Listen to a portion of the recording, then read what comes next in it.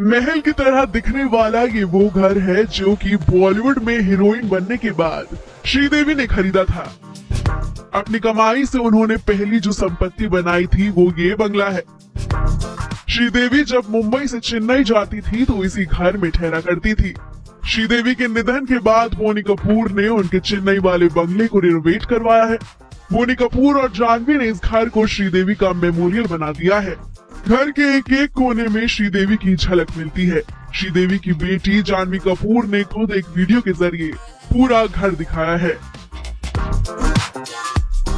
सबसे पहले तो जानवी ने अपनी माँ की जमानत का लिविंग रूम दिखाया। बेशकीमती सोफा पेंटिंग सजावटी सामान, मूर्तियों फ़ोटो फ्रेम्स और चांडलर से सजा उनका घर पहली ही झलक में किसी महल जैसा दिखता है। लिविंग रूम को क्रीम और गोल्डन कलर से सजाया है। इस हॉल को श्रीदेवी के विदेश से लाए साज सज्जा के सामानों से सजाया गया है। लिविंग रूम के बगल में ही बोनी कपूर का ऑफ़िस है। उनके दफ्तर में श्रीदेवी और परिवार की तस्वीरें सजी हैं।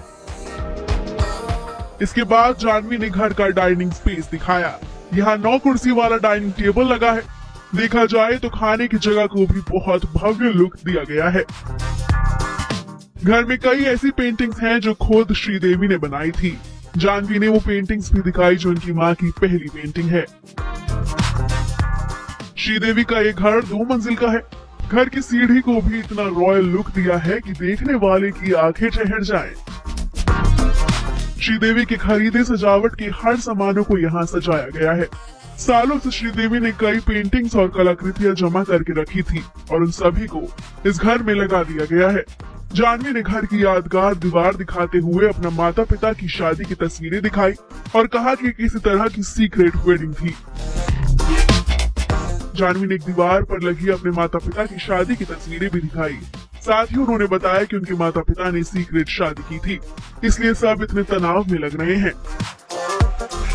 जानवी कपूर ने अपना बेडरूम भी दिखाया और बताया कि इसको उनके पिता बोनी कपूर ने डिज़ाइन किया है। पहले ये कमरा श्रीदेवी का हुआ करता था, लेकिन अब इसमें जानवी रहती है।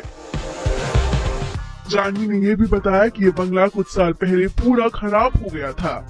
लॉकडाउन के दौरान बोनी कपूर यहाँ आए और पूरे घर को रिनोवेट करवाया। पूरा घर जब तैयार हो गया, तब बोनी कपूर ने इसे तोहफे के तौर पर बिटिया को दे दिया। इस घर में एक ऐसा वॉशरूम है, जिसे देख जानवी को लगता है कि वो ग्रीस पहुँच गई हैं। उनके घर में इस बाथरूम को देखने हर गेस्ट आता है। साथ ही जानवी ने यह भी बताया कि उनकी माँ ने उन्हें अपने बाथरूम के दरवाजे पर ताला नहीं लगाने दिया, क्योंकि वो नहीं चाहती थी कि जानवी वॉशरूम में फ़ोन पर लड़कों से बात करे। श्रीदेवी की याद में जानवी के वॉशरूम में अब भी लॉक नहीं लगवाया गया है।